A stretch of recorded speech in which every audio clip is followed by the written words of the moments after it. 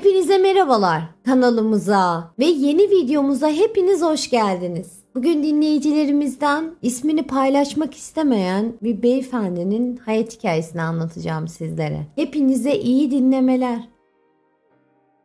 Lale Hanım merhabalar. Ben 35 yaşında bir adamım. Hayatımın en trajik olayını yaşadım. Bundan 15 sene evvel askerliğimi yapıp memleketime geri döndüm. Bunca yaşıma kadar hem okudum hem de çalıştım. Kendimi çok geliştirdim ve hep daha fazlasını hayal ederek bugünlere kadar geldim. Çok iyi bir şirkette iş teklifi almıştım. Bunun için de önümdeki tek engel askerliğimdi. Askerliğimi bitirdiğimde beni iyi bir pozisyonda işe başlatacaklarını söylemişlerdi. Artık emeklerimin karşılıklarını toplama vaktim gelmişti. Bunca zaman hep kendimi daha kültürlü ve daha geliştirmek için çaba göstermiştim. Bol bol kitap okur ve her zaman kültürel etkinliklere giderdim. Modern olmayı ve aydın bir genç olmayı hep ilke edindim. Ailem de gurur duyardı benimle. Kendileri çok iyi insanlardı. Tek farkımız onların daha muhafazakar olmasıydı. Çoğu zaman bu durumdan dolayı kavga etsek de çalışkan bir insan olduğum için alttan almayı biliyorlardı.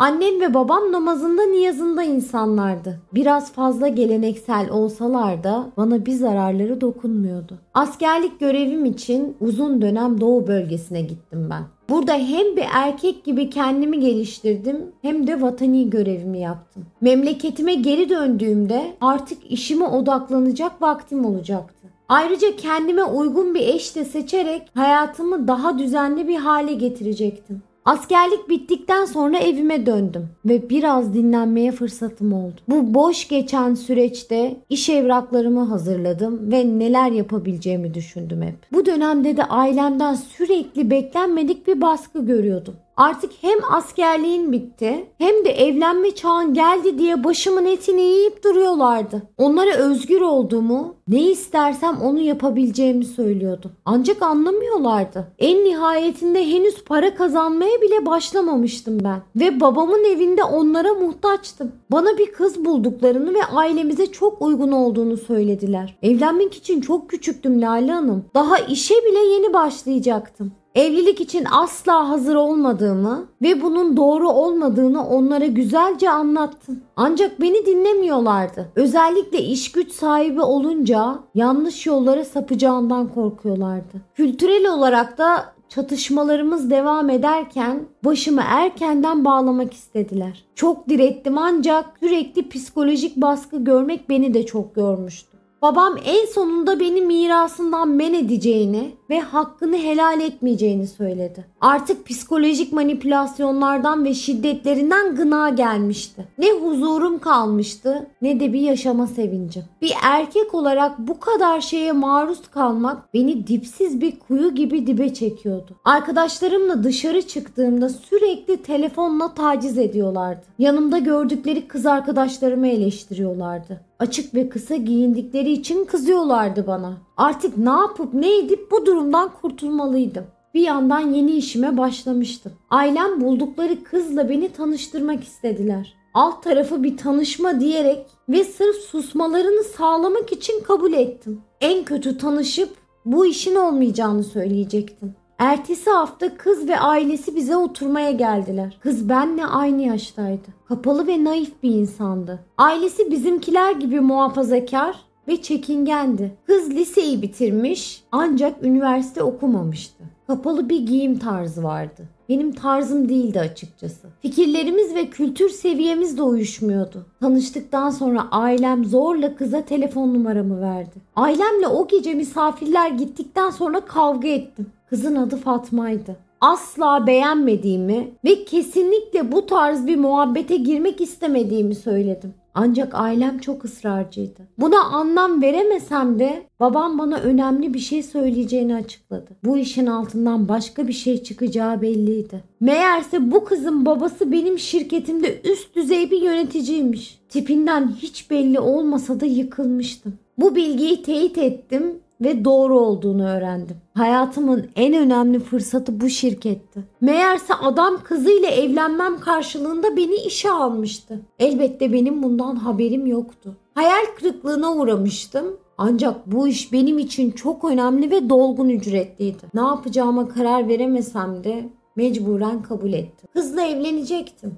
Belki ileride alışırım diye ümit ettim. Ancak kızı hiçbir zaman çekici ve mantıklı bulamadım. Cinsel anlamda beni heyecanlandırmamıştı bile. Mecburen ailemin isteğini kabul ettim. Ertesi hafta Fatma ile telefonda ve dışarıda görüştük. Yüzünü iyice inceledim. Benim standartlarımın çok altındaydı. Yine de naif ve çok kibar bir kızdı. Biraz tanıdıkça iyi kalpli olduğunu gördüm. Ancak onu bir eş olarak çekici bulamıyordum. Elini bile tutmak istemiyordum. Benim istediğim kadınlar daha farklıydı. Daha kültürlü olmalıydı. Oysa aksine beni çok beğenmişti. Kırıcı olmak istemesem de ona karşı biraz sert çıkışlarım oluyordu. Üzüldüğünü görmek beni üzse de onu istemediğimi bile bile benimle evlenmeyi kabul ettiği için kızıyordum ona. Bu şekilde bir süre beraber takıldık. Birbirimizi tanımaya çalıştık. Ardından ailemle beraber Fatma'yı istemeye gittik. Bu sırada işlerim çok yolunda gidiyordu tabi. Adapte olmuştum. Ve iş arkadaşlarım çok kafa insanlardı. Hepsi kültürlü ve okumuştu. Hatta ofisteki kızlar aşırı güzel ve iyi giyimliydi. Onlar ilgimi çok fazla çekiyordu. Hatta bir tanesinin adı Esra'ydı. Onunla aynı katta çalışıyorduk ve her karşılaşmamızda flörtleşiyorduk. Onu görmek hoşuma gidiyordu. Ancak arada bir Fatma'nın babasına denk geldiğimde korkudan bu hareketlerimi yapamıyordum.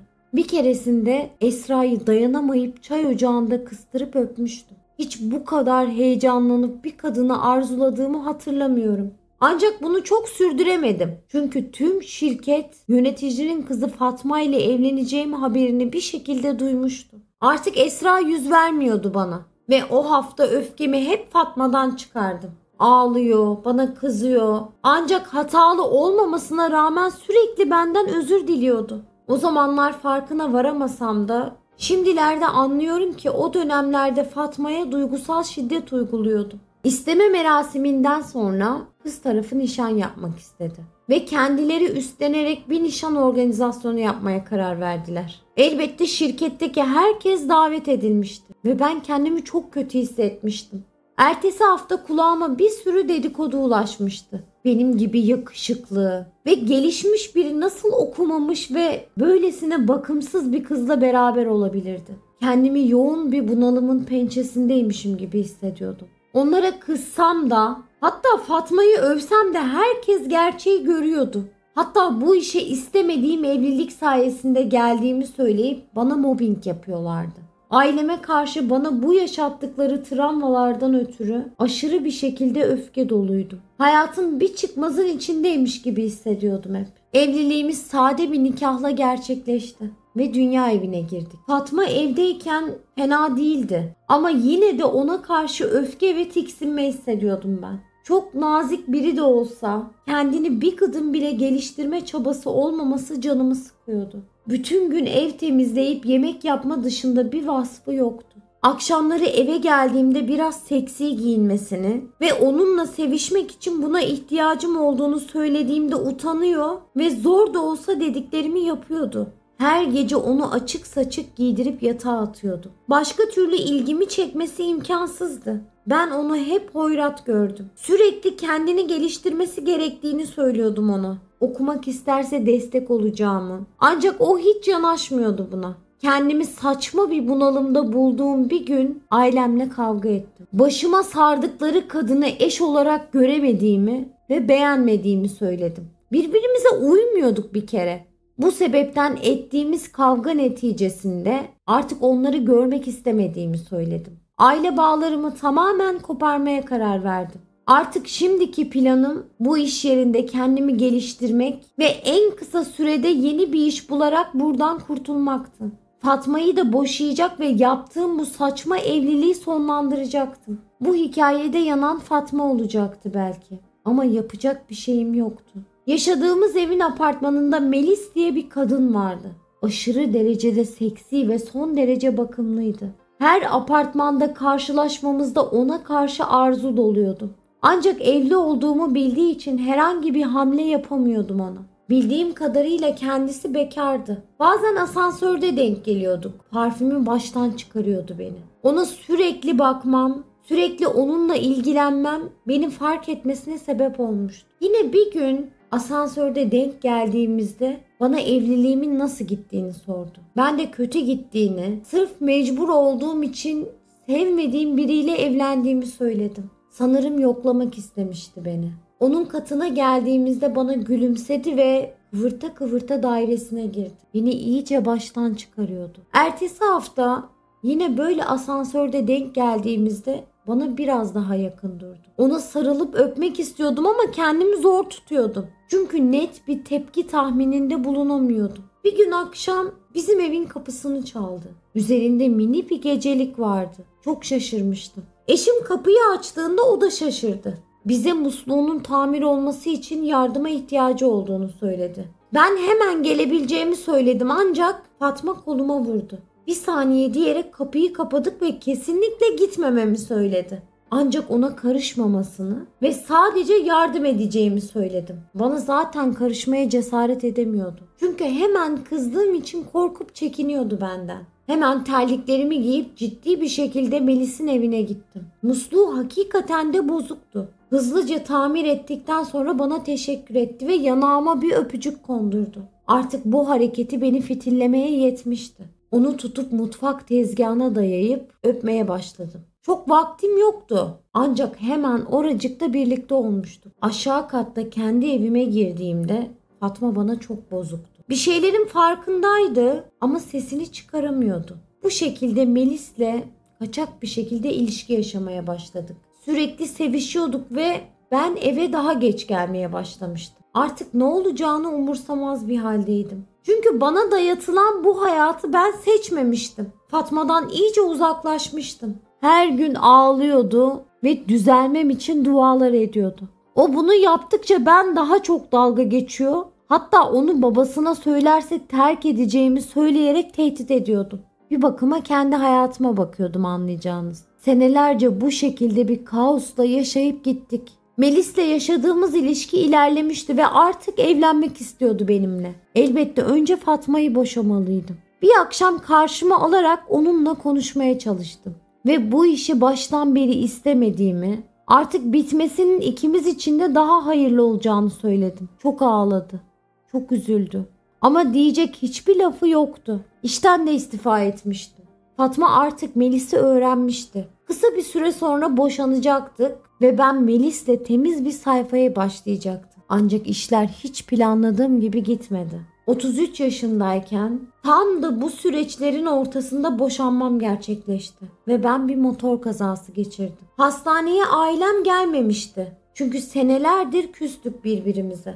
Fatma'dan da boşandığım için o ve ailesi yoktu. Melis'le evlenecekken böyle bir kaza olması bizi çok sarsmıştı. Bir süre hastanede yattıktan sonra doktorlarla görüştüm. Artık belden aşağı tutmayacak dediler. Dünyam başıma yıkılmıştı. Artık yürüyemeyecek ve bedenimin yarısını hissedemeyecektim. Hayatımın en kötü günüydü. Melis yanımdaydı ve bir anda hıçkırarak ağlamaya başladı. Onu böyle görmek bana çok dokunmuştu. Beni teselli bile etmiyordu. Sadece ağlıyordu. Yaşadığım şok ve tedaviler sonrası felçli bir şekilde hastaneden taburcu olacağım gün yapayalnızdım. Melis bana kısa bir mesaj atarak elveda demişti. Yani beni yarı yolda bırakmıştı. Ailem dahi kimse bana bakmayacak ve yanımda kalmayacak. Müşkül bir durumda kalmıştım. Ne param vardı ne de kalacak bir evim. Bu haldeyken yapacağım hiçbir şey yoktu. Utana sıkıla Fatma'ya mesaj attı. Daha bir saat bile olmadan hastaneye gelmişti. Beni görünce çok ağladı. Ancak sonra gözyaşlarını sildi ve tekerlekli sandalyemi sürerek evine götürdü. Beni giydirdi, besledi ve uzun süren tedavi sürecinde bana baktı. Hayatımdaki hiçbir arkadaşım, ailem beni görmeye bile gelmiyorken boşadığım ve kötü davranıp senelerce zulmettiğim eski karım bana kol kanat germişti. Hatta sırf bana bakabilmek için babası tarafından reddedilmişti. Çünkü babası onu aldattığımı ve ona kötü davrandığımı öğrenmişti. Ayrıca onun işinden de istifa etmiştim. Fatma tek başına yetebilmek için hem bana bakıyor hem evle ilgileniyordu. Tüm bunları yaparken de iş arıyordu. Lise mezunu olduğu için bulması zor olsa da bir lokantada yemek pişiren birisi olarak bir iş bulmuştu. Kirayı zar zor ödeyip yiyecek yemeği yeri gelip bulamasak da bana gül gibi bakıyordu. Her zaman güler yüzlü oluyor ve sabrediyordu. Yine de namazından ve hoşgörüsünden vazgeçmemişti. Bir gün bana beni affettiğini ve Allah'ın rızkımızı bir şekilde verdiğini söylemişti. Bunu dedikten iki hafta sonra iş yerinde iyi bir çalışan olduğu için onu baş aşçı yapmışlar ve maaşını iki katına çıkarmışlardı. Hatta iş yeri sahibi onu yemek kursuna bile gönderiyordu. Kendini bu alanda iyice geliştirmeye ve iyice kazanmaya başlamıştı. Tüm bunlar olurken bana bakmayı bir an olsun bırakmadı. Bu süreçte ben de ona yardımcı olmak için tekerlekli sandalyede olsam da evi oturduğum yerden süpürüyor ve en azından çamaşırları katlayıp ütüleyebiliyordum. Her yaptığıma şükrediyordum. Şu an 35 yaşındayım ve hala felcim. Fatma ile beraber yaşıyoruz. Fatma kendini o kadar geliştirdi ki kendi lokantasını çoktan kurdu bile. Ben de bilgisayarla muhasebe ve diğer işlerini uzaktan hallediyorum. Bana da iş imkanı sağladı. İlahi adalet neticesinde ona yaptıklarımın bedelini sakat kalarak ödedim. Şu an ikimiz de daha mutlu ve özverili bir şekilde hayatlarımızı devam ettiriyoruz. Hatta ona evlenme teklifi ederek bu sefer çok daha fazla mutlu edeceğimi söylemek istiyorum. Keşke zamanında kıymetini bilseydim de keşke bu kadar günah işlemeseydim. Allah bir şekilde adaletini bu dünyadayken sağlıyor. Yaşadıklarımdan ders çıkardım ve bu ibretlik hayat hikayemle artık kimseyi üzmemeye ve elimdekilere şükretmem gerektiğine kanaat getirdim. Bugün hayattaysam ve mutluysam Fatma'nın iyiliğine ve hoşgörüsüne borçluyum. Üstelik artık bunun tamamen farkındayım ve hayatımı buna göre yaşıyorum. Beni dinlediğiniz için çok teşekkür ediyorum Lale Hanım. Lütfen değerli yorumlarınızı benden esirgemeyin. Görüşmek üzere. Evet arkadaşlar dinleyicilerimizden ismini bizimle paylaşmak istemeyen bir beyefendinin trajik hikayesini anlattım sizlere bugün. Kendisi yıllar boyu evlendiği eşini nasıl dışladığını, ona nasıl kötü davrandığını anlatıp durdu. Daha sonra onu nasıl aldattığını, yıllarca eşine zulmettiğini, eninde sonunda eşinden boşanıp tam yeni bir hayat kuracakken kaderin cilvesiyle karşılaştığını yazmış bana. Ve tabii ki 2-3 gündür onun yanında olan yeni sevgilisi onu bırakıp gitmiş. Yıllar yılı itip kalktığı eski karısı ona sahip çıkmış. Aslında bu tarz hikayeler çok var değil mi? Yani siz ne yaparsanız yapın, ne kadar insanlara kötü davranırsanız davranın. Sonra bir anda çıkıp gidin insanların hayatından ve zor bir duruma düşüp en baştan o terk edip gittiğiniz ve kimsesiz bıraktığınız insanlara sığının.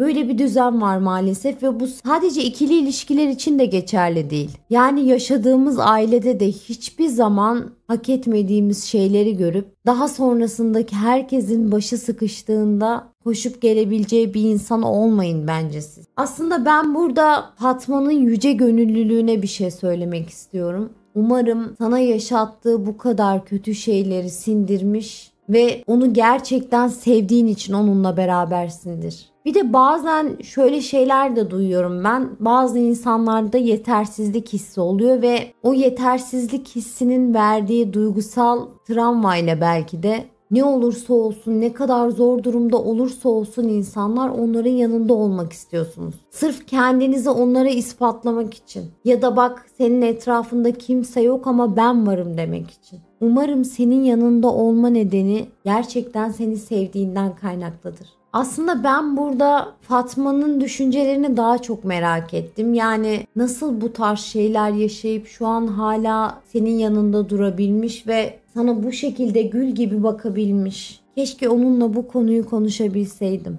Sen de yaşadığın hayattan bence çok büyük dersler çıkarmalısın ve yatıp kalkıp şükretmelisin hayatında Fatma gibi bir kadın olduğu için. Benim söyleyeceklerim bu kadar. Eminim dinleyicilerimin de senin için söyleyeceği epey şey olacak. Bundan sonraki hayatında sana güzellikler diliyorum. Şimdilik hoşça kal. Sizin de bu beyefendi gibi benimle paylaşmak istediğiniz itiraflarınız, yaşanmışlıklarınız, Kimseye anlatamadıklarınız varsa eğer ben Lale buradayım.